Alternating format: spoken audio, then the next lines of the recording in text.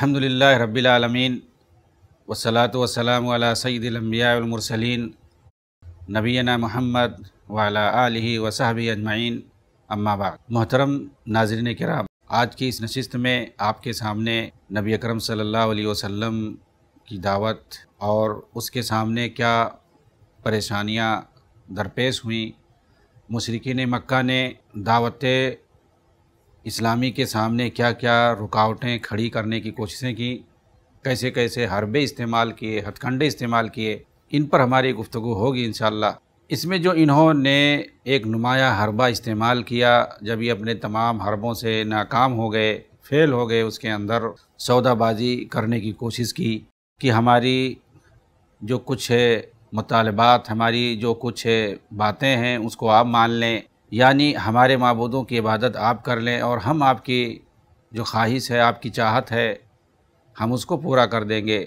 مگر اللہ رب العالمین کی طرف سے پوری صورت نازل ہو گئی سور کافرون کے نام سے اور اس مطالبے کو رد کر دیا گیا۔ اس سودے بازی کو مکمل طور سے جو کہ ایک فضول سودے بازی تھی، اللہ رب العالمین نے اس کو ختم کر دیا، کہ ایسا بالکل نہیں ہو سکتا ہے۔ تو تاریخ میں ملتا ہے کہ ان لوگوں نے ایک دوسرا ہتھ کنڈا استعمال کیا اس کے لیے یعنی یہ جو سودے بازی ہے، اس کی ایک دوسری شکل انہوں نے سامنے لائی۔ تاریخ کی کتابوں میں ملتا ہے یہ۔ وہ کیا ہے؟ ان لوگوں نے قریش کا جو ایک نامور شخص تھا، ولید بن مغیرہ، اس کا ایک خوبصورت بیٹا تھا، عمارہ۔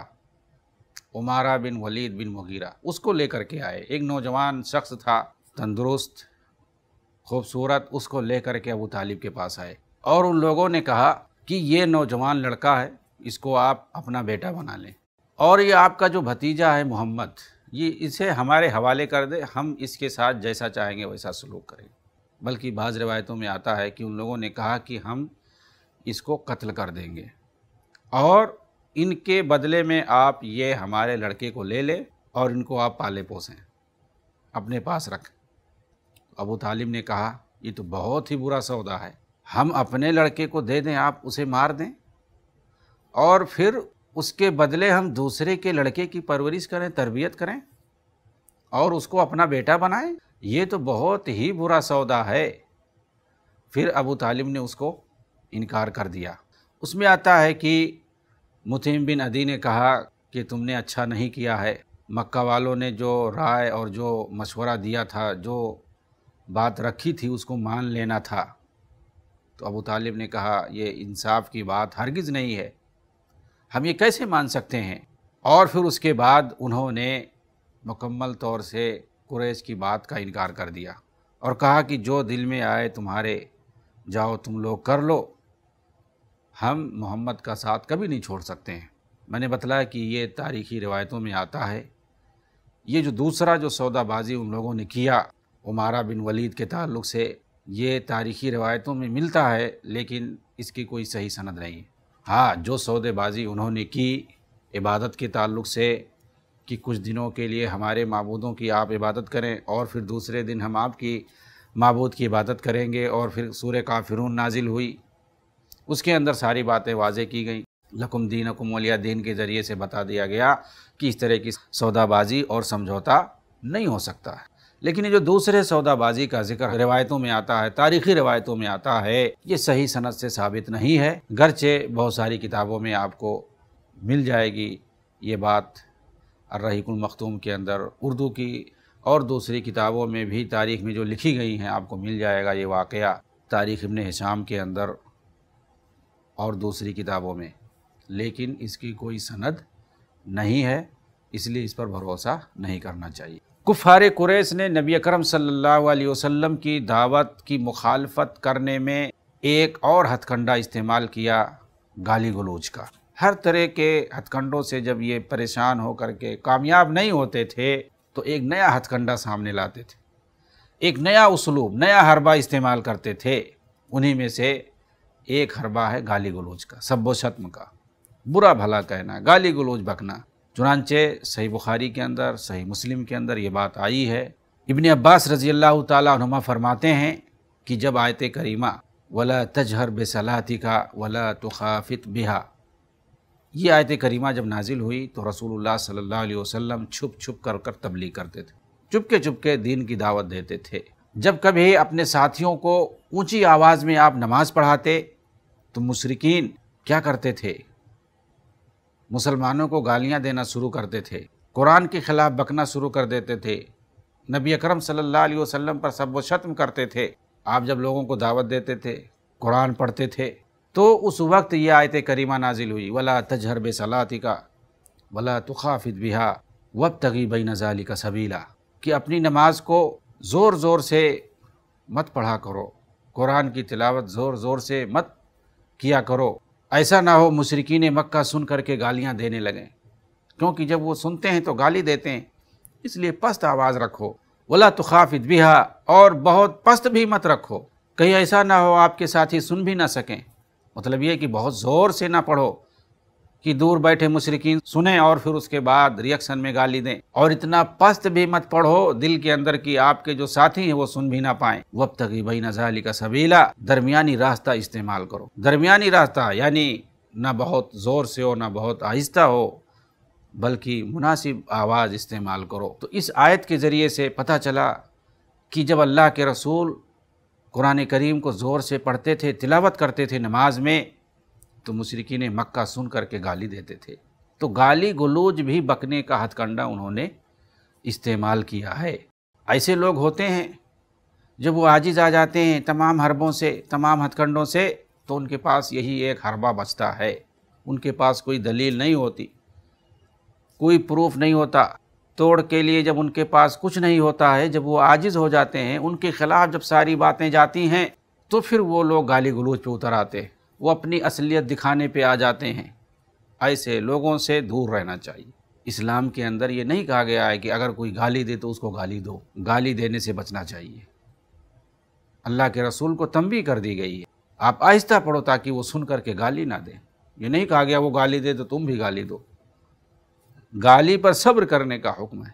اسی طرح سے اور بھی ہتھ کنڈے انہوں نے استعمال کیے۔ چنانچہ ایک ہتھ کنڈا یہ بھی بتایا جاتا ہے کہ انہوں نے یہودیوں سے جا کر کے رابطہ کیا جو مدینہ کے اندر رہتے تھے، طائف کے اندر رہتے تھے اور دوسرے علاقوں میں رہتے تھے، عرب میں، جزرت العرب کے اندر جہاں جہاں رہتے تھے، فدق میں رہتے تھے، طائف میں رہتے تھے، خیبر میں رہتے تھے، مدینہ میں رہتے تھے، یمن کے اندر رہتے تھے۔ ان تمام یہودیوں کے پاس جا کر کے ان سے سوالات پوچھتے تھے۔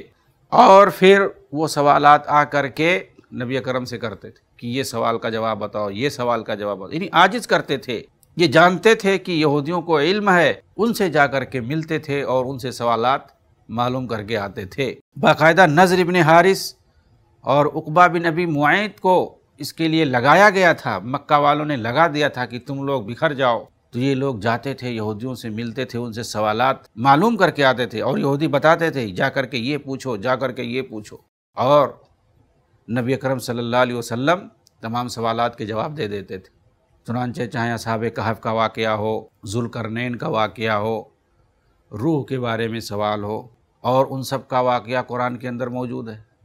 اور بہت سارے ایسے سوالات ہیں جن کا ذکر قرآن میں نہیں ہے، اللہ کے رسول نے اس کو حدیث میں بیان کیا۔ تو باقاعدہ یہ لوگ یہودیوں سے پوچھ کر کے آتے تھے سوالات۔ اور وہ لوگ تورات اور انجیل میں جو لکھا ہوتا تھا پچھلی قوموں کے بارے میں، جیسے اصحاب کہف کا ذکر ہے ذوالکرنین ہے، خضر کے بارے میں ہے، اسی طرح سے ان لوگوں نے غیب کے بارے میں جاننے کی کوشش کی۔ یہ ساری باتیں وہ لوگ یہودیوں سے جان کر کے آتے تھے اور نبی صلی اللہ علیہ وسلم سے سوال کرتے تھے۔ مگر اللہ کے رسول صلی اللہ علیہ وسلم بذریعے وہی ان کو سارے سوالات کا جواب دے دیتے تھے۔ اس طرح سے وہ لوگ اس میں بھی ناکام ہو گئے۔ یعنی وہ دراصل چاہتے تھے کہ جب ہم پچھلی قوموں کے بارے میں پوچھیں گے آپ سے، جس کے بارے میں یہودیوں کو پتہ ہوتا تھا، وہ ان کے پاس دورات تھا۔ وہ لوگ پڑھتے تھے۔ پچھلی قوموں کے واقعات کو وہ جانتے تھے۔ اسی طرح سے غیب کی باتیں بھی ان کی کتابوں میں موجود ہے جنت کے بارے میں، جہنم کے بارے میں، آخرت کے بارے میں، غیب کے بارے میں، روح کے بارے میں۔ وہ بھی یہ لوگ معلوم کر کے آتے تھے کہ غیب کے بارے میں، جنت، جہنم کے بارے میں ان کو کیسے پتہ ہوگا۔ تو اللہ کے رسول صلی اللہ علیہ وسلم ان ساری چیزوں کا جواب دے دیتے تھے۔ کچھ کا تذکرہ قرآن میں کیا گیا ہے اور کچھ کا تذکرہ حدیثوں کے اندر موجود ہے۔ اس طرح سے یہ لوگ اس ہتھ کنڈے میں بھی فیل ہو گئے۔ اس کے بعد ان لوگوں نے ایک حربہ استعمال کیا جس کو ہم ترغیبات کہہ سکتے ہیں، لالچ کا ہتھ کنڈا۔ آپ کو ان لوگوں نے دھمکیاں دیں، مذاق اڑایا، تاجیزی سوالات کیے، سب میں فیل ہو گئے۔ اب یہ لوگ ترغیبات میں آ گئے، لالچ دلانے میں آ گئے۔ آپ کے سامنے لالچ رکھی گئی۔ یہ بھی بہت بڑا ہتھ کنڈا ہے دشمنوں کے پاس۔ جب یہ لوگ مختلف ہتھ کنڈوں کا استعمال کر کے اس میں فیل ہو جاتے ہیں، تو یہ ترغیبی ہتھ کنڈا بھی استعمال کرتے ہیں۔ یہ ترغیبی حربہ، لالچ دلاؤ، پیسے کی لالچ، عہدہ اور منصب کی لالچ، جنس کی لالچ، سرداری کی لالچ، بہت ساری چیزیں۔ ہیں چنانچہ ان لوگوں نے یہی ہتھ کنڈا اللہ کے رسول کے سامنے رکھا۔ اس کے لیے قریش نے اتبا بن ربیہ کو استعمال کیا، جو اللہ کے رسول کے پاس آیا۔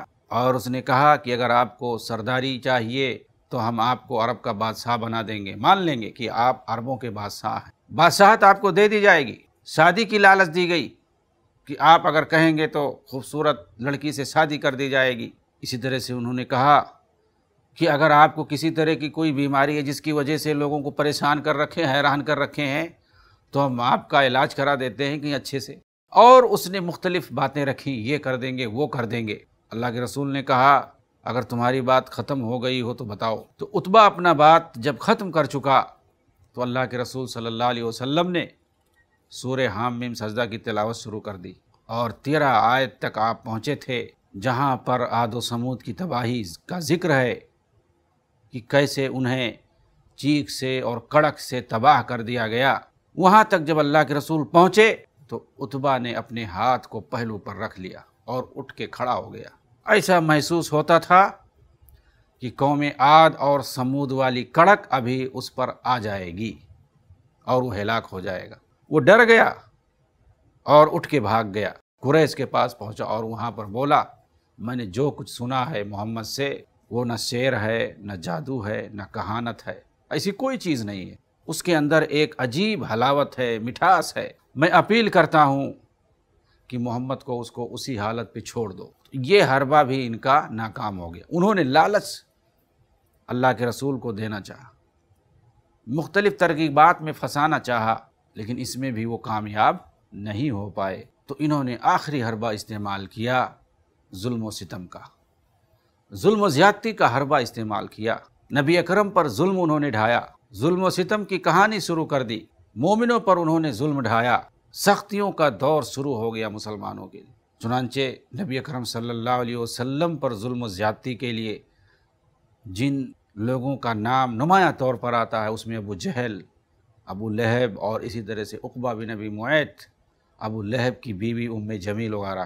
ان لوگوں نے خصوصی طور پر ذمہ داری اور اللہ کے رسول صلی اللہ علیہ وسلم کو جسمانی طور پر اذیت پہنچاتے تھے، تکلیفیں دیتے تھے، سختیاں کرتے تھے۔ کبھی آپ کے اوپر اونٹ کی اوجھڑی لا کر کے ڈال دیتے تھے۔ کبھی آپ کا سر کھینچ دیتے تھے پکڑ کر کے۔ آپ پر تھوکا بھی گیا۔ مختلف طریقے سے جسمانی تشدد کیا گیا۔ ایک بار خانے کعبہ کے اندر آپ کو کفار مکہ آپ کی پٹائی کر رہے تھے باقا ابو بکر صدیق رضی اللہ تعالیٰ عنہ پہنچ گئے اور آپ نے چھڑایا۔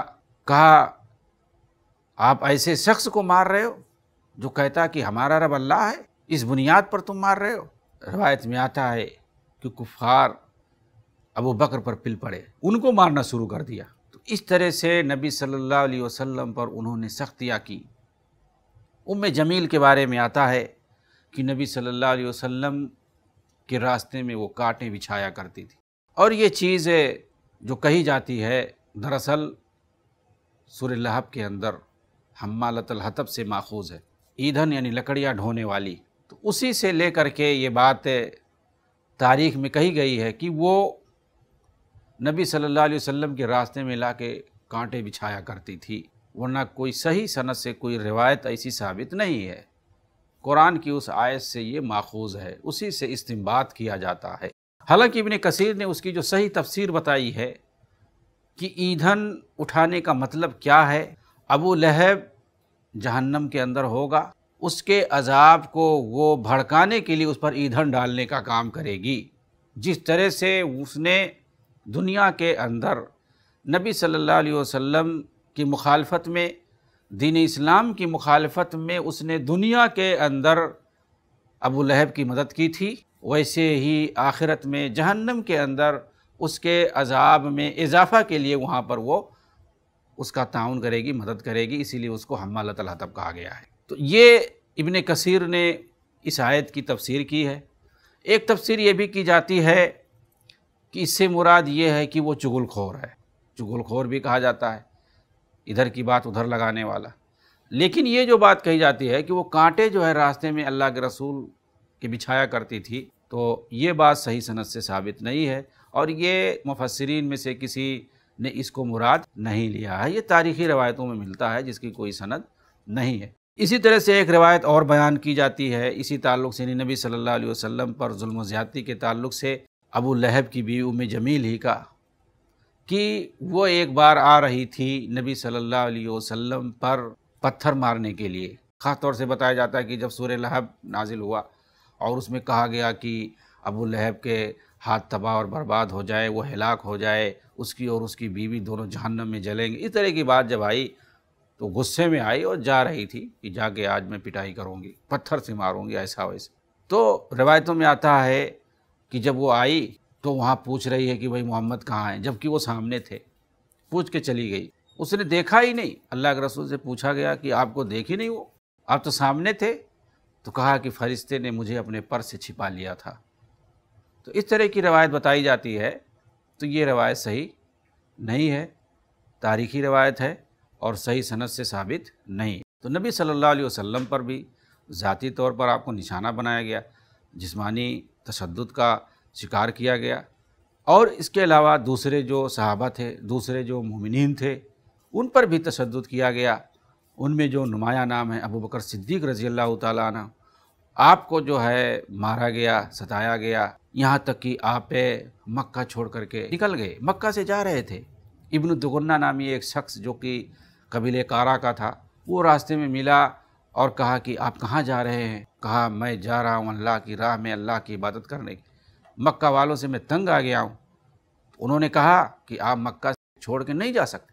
آپ جیسے لوگ کیسے جا سکتے؟ آپ جیسے لوگوں کو مکہ والے نہیں نکال سکتے۔ ہیں چنانچہ وہ اپنی حفاظت میں لے کر کے آئے اور اپنے امان میں لے کر کے آئے اور کہا کہ آپ یہیں رہیں گے، میں نے امان دے دیا ہے آپ کو۔ اس طرح سے ابو بکر صدیق رضی اللہ تعالیٰ عنہ اپنے گھر میں آئے اور عبادت کرنے لگے۔ ان سے کہا گیا کہ ان سے کہہ دو کہ اپنے گھر میں رہیں، وہیں پہ عبادت کریں۔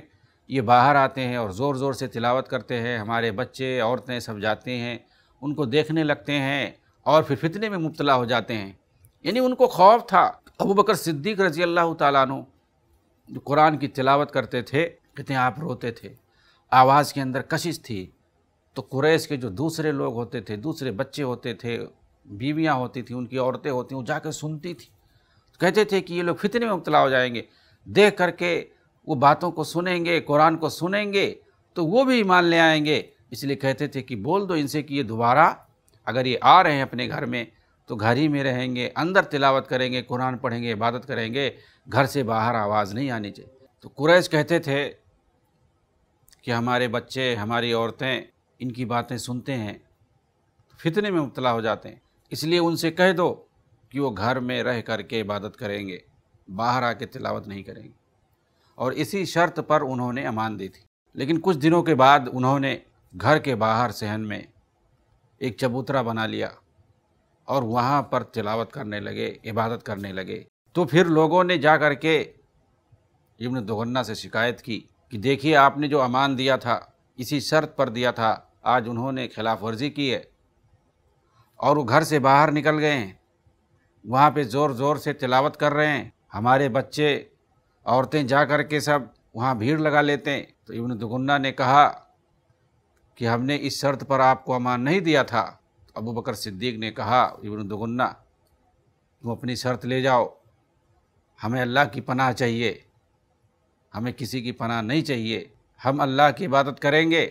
کسی کو برداشت ہو تو ہو، ورنہ ہم اس پر سمجھوتا نہیں کریں گے۔ اس طرح سے ان کے شرط کو انہوں نے واپس کر دیا، ان کے امان کو انہوں نے رد کر دیا اور وہ اللہ کی عبادت کرنے لگے۔ اعلان عبادت کرنے لگے، چنانچہ آپ کو تشدد کا نشانہ بنایا گیا۔ اسی طرح سے عبداللہ ابن مسعود کا ذکر آتا ہے کہ انہوں نے خانہ کعبہ کے اندر بلند آواز سے قرآن کی تلاوت کرنا شروع کر دی۔ تو مشرقین مکہ نے آپ کو ستایا، آپ پر پل پڑے اور آپ کو مارا پیٹا۔ اسی طرح سے سیدنا عثمان غنی رضی اللہ تعالیٰ عنہ کے بارے میں آتا کہ آپ کو بھی تشدد کا نشانہ بنایا گیا اور ایک روایت آتی ہے کہ آپ کا چچا آپ کو چٹائیوں میں لپیٹ کر کے ناک میں دھواں دیتا تھا۔ لیکن یہ تاریخی روایت صحیح نہیں۔ البتہ آپ کو ظلم کا نشانہ بنایا گیا ہے۔ یہ صحیح ہے۔ مصعب بن عمیر کے بارے میں آتا ہے کہ جب آپ ایمان لائے تو گھر والوں نے آپ کا کھانا پانی سب بند کر دیا تاکہ یہ باز آ جائیں۔ آپ سوکھ کر کے کاٹا ہو گئے، لیکن ایمان کا سودا نہیں کیا۔ حالانکہ بہت ہی خوشحال تھے، ناز و نیم میں پلے تھے۔ ساری چیزیں ختم ہو گئی لیکن ایمان کے ساتھ آپ نے سودا نہیں کیا۔ آپ کے ساتھ تشدد بھی کیا گیا، پھر بھی آپ نے ایمان کا سودا کبھی نہیں کیا۔ اور اس کے علاوہ بھی بہت سارے صحابہ کا نام آتا ہے۔ اس میں سیدنا عمر بن خطاب ہیں، عثمان بن مضعون ہیں، زبیر بن عوام ہیں، سلمہ بن حشام ہیں، ابو ذر غفاری ہیں، آل یاسر یاسر کا پورا خاندان ہے۔ کیسے جو ہے ابو جہل اور دوسرے لوگ ستاتے تھے۔ تو صحابہ کرام کو بھی ظلم کا نشانہ بنایا گیا، لیکن کسی نے بھی ایمان کا سودا نہیں کیا گیا۔ تو یہ مشرقین کا آخری ہتھ کنڈا تھا کہ انہوں نے نبی اکرم صلی اللہ علیہ وسلم کے ساتھ اور مسلمانوں کے ساتھ ظلم و ستم کا نشانہ بنایا، انہیں ستایا طرح طرح سے، لیکن کسی کے ایمان میں لغزش نہیں آئی، کوئی ایمان سے پھرنے کی بات نہیں کیا۔ اللہ رب العالمین سے دعا ہے کہ اللہ تعالی ہمیں عمل کی توفیق عنایت فرمائے۔ آمین۔ وآخر دعوانا ان الحمدللہ رب العالمین۔ والسلام علیکم ورحمۃ اللہ وبرکاتہ۔ دنیا میں امن کو عام کرنے کی اس کوشش میں ہمارا ساتھ دیں۔ آئی پلس ٹی وی کو ڈونیٹ کرنے کے لیے ابھی کال کریں nine five double eight double eight double eight two six پر۔ ایسے ہی اور ویڈیوز بنانے میں ہماری مدد کریں۔